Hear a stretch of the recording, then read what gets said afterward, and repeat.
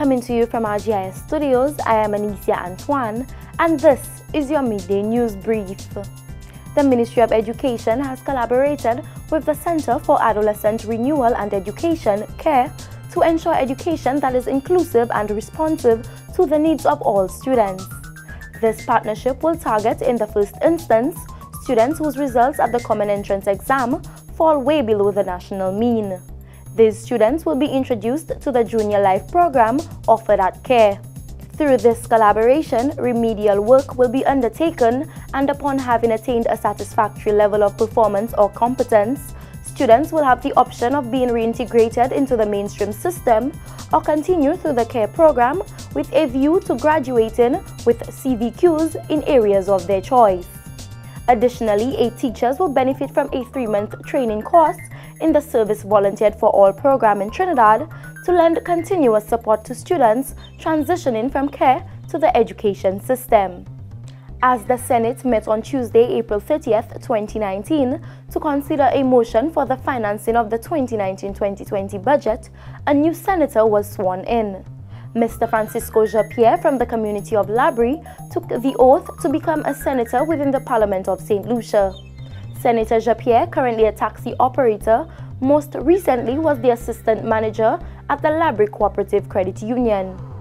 He serves on the board of the Southern Taxi Company and has for years been an advocate for taxi drivers in the South. He has been devoted to his community where he volunteers his time, especially to work with youth clubs. Senator Jn Pierre, currently a taxi operator, most recently was the assistant manager of loans at the Laborie Cooperative Credit Union. He serves on the board of the Southern Taxi Company and has for years been an advocate for taxi drivers in the South. He has been devoted to his community where he volunteers his time, especially to work with youth clubs. Senator Jn Pierre, a graduate of the Vieux-Fort Comprehensive Secondary School, has also served in his early years as a fire officer of the St. Lucia Fire Service.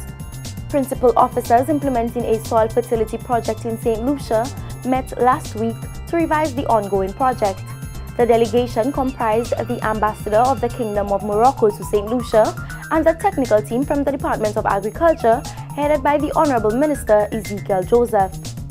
The team met to review the plan of action for the completion phase of the Moroccan Soil Fertility Project that carries the expectation of improving soil health conditions and boosting agriculture production efforts in St. Lucia. Minister for Agriculture, Honorable Ezekiel Joseph, said that by fine-tuning the ongoing work under the Soil Fertility Project, St. Lucia makes the most use of technology transfer and the application techniques that will ultimately impact the overall performance of the agriculture economy. The Moroccan Soil Fertility Project was extended for another year with an end date of March 2021. This has been your Midday News Brief. Thank you for watching.